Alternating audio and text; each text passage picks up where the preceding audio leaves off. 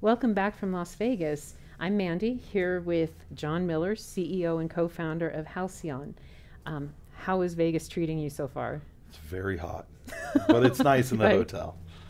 It's true. I know Yeah. we get all the air conditioning all the time. Yeah, it makes great- it pleasant. Great conference, though. A lot of uh, really interesting people here this year. Really. Feeling a lot of good traction and getting to talk with people. Yep, yep. Lots of customers, meet new people. Um, you know, overall, I this is my 26th year in a row coming it out. really? For, well, it was DEF CON and before Black Right. Hat started, but yeah, Right. a lot of years. Wow. Congratulations. Yeah, That's pretty yeah, cool. Yeah. and I would imagine that you have a lot of people excited to speak with you in Halcyon because you focus on ransomware. Yeah, it's it's it's kind of the gaping head wound of our industry right now, right? Sure. And uh, um, there are lots of companies that you know want to talk about it and how their technology has some portion that's applicable to ransomware.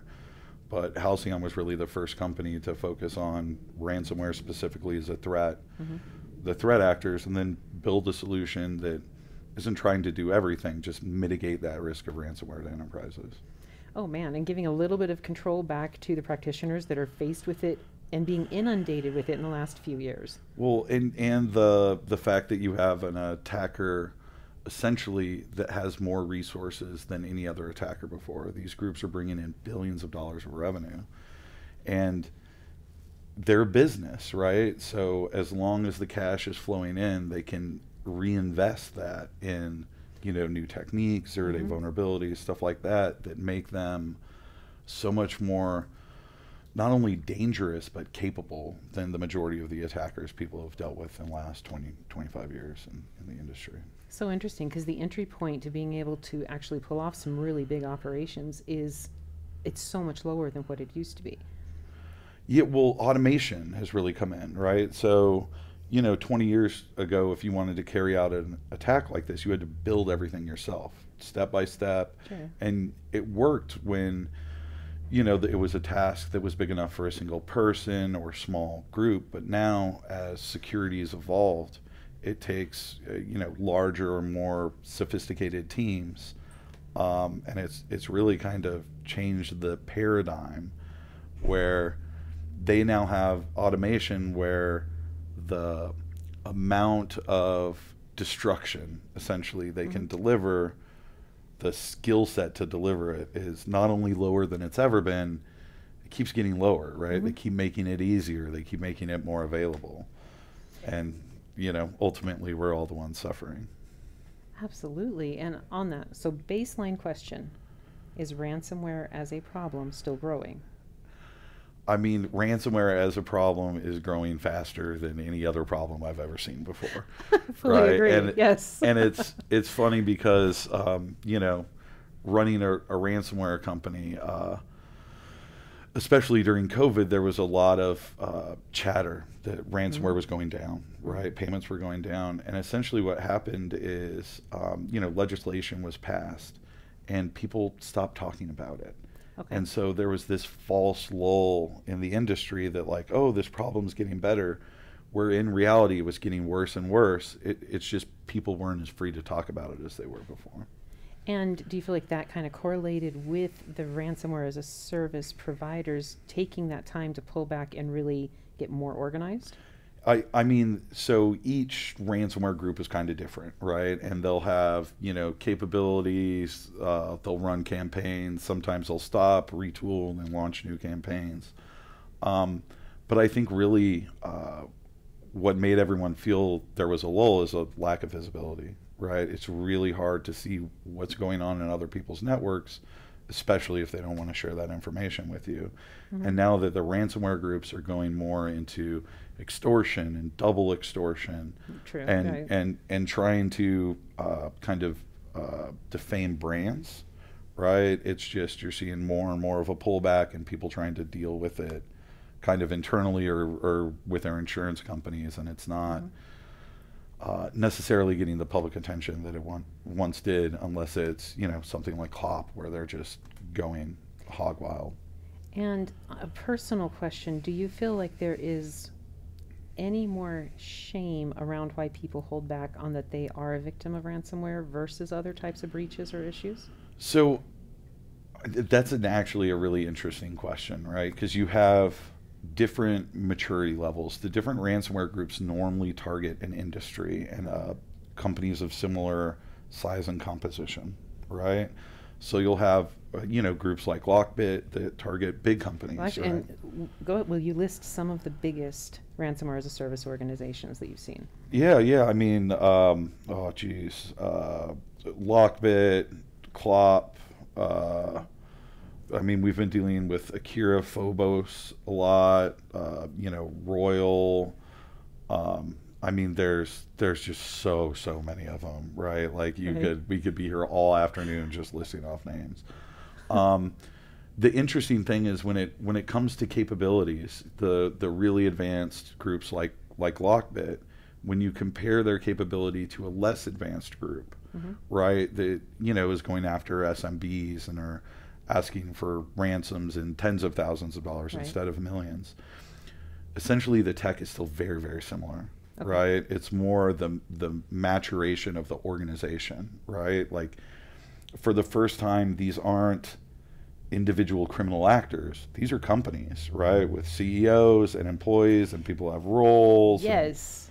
yeah, it's um, it's a it's a completely different paradigm than we've really dealt with before in, in the cyber industry. Absolutely. And in that, I feel like it, when I was doing research and you're learning more about what's going on with ransomware, really understanding that ransomware as a service was becoming such a, grabbing such a viable foothold as an organizational model for people to continue to be successful in the nefarious acts. Yeah. It, it blows my mind. It's a it's a channel sales model, right? Yes. I've built the software. You go out and sell the software. I take a piece. You take a piece. right? And it, like it gives them that scale, right? They can scale much, much wider than uh, you know what they can do as a, a lone group. And then those those affiliates, right? The ones where you know you're not necessarily part of Lockbit or Mm-hmm. Akira, but you join them and they give you the the tools to use. right. You end up as a group where you know you have multiple different ransomwares you can throw like i you know i, I was talking to a customer this week where um, they were under a ransomware attack and the attackers couldn't get the ransomware to run Mhm. so mid-attack they pivoted to another piece of ransomware just a completely different group it was Okay. the same guys because they bought you know access from a broker and and they were in multiple affiliate networks but it i mean it really builds a business that sets them up to win especially with the fact that there's no consequence Mhm. right um, you know these people that are doing it aren't hiding i uh, uh, i for, forget the guy's name but it's uh, uh, one of the big ransomware groups group leaders the guy in uh, russia he has a, a lamborghini with the license plate thief is his personalized Okay. license plate and there's videos of him doing donuts around the police in his lamborghini because he's There's nothing. he's untouchable right he's paid off the right people he's above the law Mhm. and he's an internet personality for it So in that, I feel like a lot of times with the ransomware groups, it's a modern iteration of being part of organized crime. I mean, it's that yeah it's whole. extortion It's Yeah. extortion, extortion and as a business it's sexy. It's interesting because it's like being part of the mob, but you have so many more layers of protection. So these people do stuff that the would make the mafia vomit, right? Never in and, and maybe this is just my background from watching mafia movies. Never would the mafia attack civilians. Never would they attack a hospital Mm-hmm. There's an and honor kill. code. There's a yeah, yeah, yeah. Right. There's you know they're they're trying to do business. These people have no ethical compass whatsoever, right? Mhm. Like it's all about profit and finding the most vulnerable and exploiting that, which is, you know, sad that there's nothing socially or legally that's really countering that. It's Mhm. just continuing to grow and grow unchecked. Wow. Um, I mean, so you're answering all this. Like, why is it effective? Yeah, I, I mean, so a lot of it comes down to capability, right? The um, ransomware shares more similarities with nation state APT level malware Okay, than okay. anything else, right? the majority of these people do have ties to the Russian government and have worked on Russian government, you know, cyber offensive operations, and so they have those those techniques, right, that are essentially used to only be reserved for governments hacking governments, mm-hmm. right? And now you're seeing those super sophisticated techniques just dovetailing straight into cybercrime, right? And the majority the majority of the industry, the majority of our tech isn't really built to protect against the threat of tomorrow. True. It's built to protect against the threat What's of yesterday. Noted. Yeah. Yeah. Right. What we've already been burned with, and um, it's it's really easy for attackers essentially to exploit that. If you're willing to go to the the higher fruit on the tree, they're they're bigger and juicier because nobody's ever picked them. Wow. And so, how has Halcyon positioned itself to help security practitioners? Yeah, well, I, the key thing is for the first time ever, we looked at the actual attackers. We didn't want to be the security product that solved every issue, right? And so we took a look at those 300 ransomware groups, mm-hmm. took apart all of their software, and said, what are their vulnerabilities, right? What is it in their software that we can do to make make it incompatible, right? Make it not work what can we do to offset the catastrophic risk that comes after they go in and encrypt all of your machines? And so by focusing specifically on that threat group and their their tactics, we've been able to build something that's not only you know more effective at stopping the specific class of threat. I'm not going to mm-hmm. say that we stop everything, but we do better than everyone else at, at not only stopping ransomware, but we're the first product ever to offer resiliency against it, right? So if your entire stack fails, if Halcyon mm-hmm. fails you, and your your machines are encrypted, and you're a retailer or a manufacturer or a hospital, um, the Halcyon agent itself recovers that endpoint in minutes, right? Wow. So we actually capture the encryption keys that they use to encrypt the files and then our agent just reaches out and uses those to decrypt everything and then restore the, the machine to a pristine state. Oh my goodness. Well, then I hope definitely that you get more reach and into industrial control systems for sure. Oh yeah, we're we're, we're working a lot. I mean, the the the industries that are really affected right now that we're working with the most are, you know, the the utilities, the control mm-hmm. systems, right? Um, healthcare, um, manufacturing, retail, and then education, right? Like they're. It, it's one of those no ethical compass type Correct. of things, right? Correct. They have schools don't normally have the same level of maturity as an enterprise. And so you have whole groups that are just going in there and exploiting it, right? I mean, the LA Unified School District is a, a huge example. I mean, the C- Costa Rican government went down, right? Like, they are, their hacks and their impact just are going to continue to grow and get bigger and bigger and bigger. Now, do you feel that that is um, a challenge for security practitioners and those of us who really enjoy securing and trying to do better for the world. Yeah. Um, that we don't even have that mindset of going to that depraved level, you know, the depravity of I'm going to attack the things that are critical for life. I, I feel like the security industry has been great over the last 20 years at theorizing those possibilities, mm-hmm. right? Security was really sold on the fear of something bad could happen, mm-hmm. right? And now what we're seeing is bad things are actually happening. happening. And they're pushing.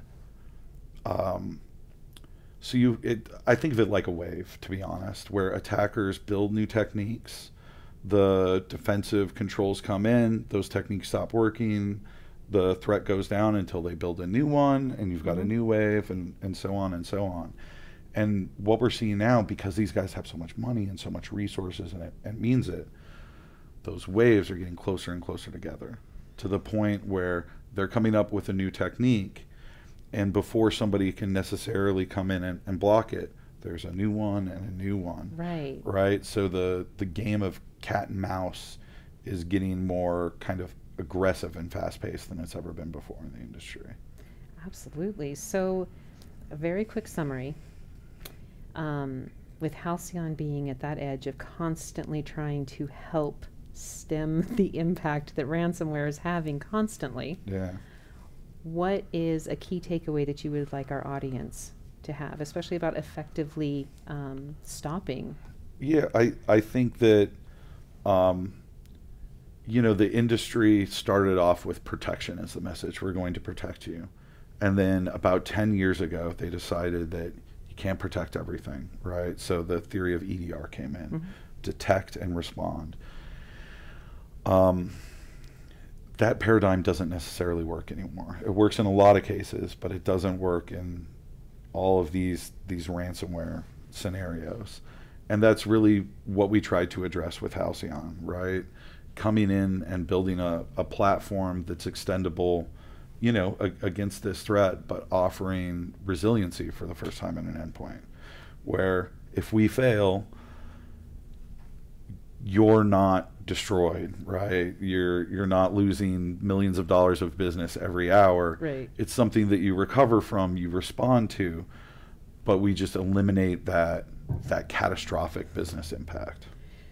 So, in the event that it happens, I, it sounds like Halcyon is providing kind of a silver lining that at least there's something to go back to. There, we'll get you back, and we'll get you back so quick that it doesn't impact your business. If you're a retailer, and um, you know your POS system gets ransomware, we can actually recover that so quickly that your customer is not going to walk out of the store, right? Which completely changes, Yeah. you know, that that impact and you know takes a lot of the weight out. Um, the the newest feature um, that that we're actually beta testing with customers right now is what we call ransomware DLP, right? So it's protection against the data exfiltration that these guys do.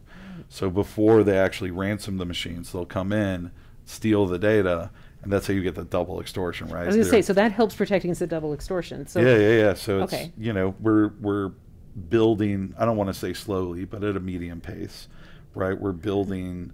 Think of it like concentric circles of protection out from the the business risk impact of ransomware. that's so nice. Yeah. So, thank you so much for being with us, Jon. Thanks for the time. Um, and for everyone in our audience, please look at securityweekly.com backslash halcyon BH to get more information. And from Vegas, I'm Mandy with Security Weekly. Goodbye. Thank you.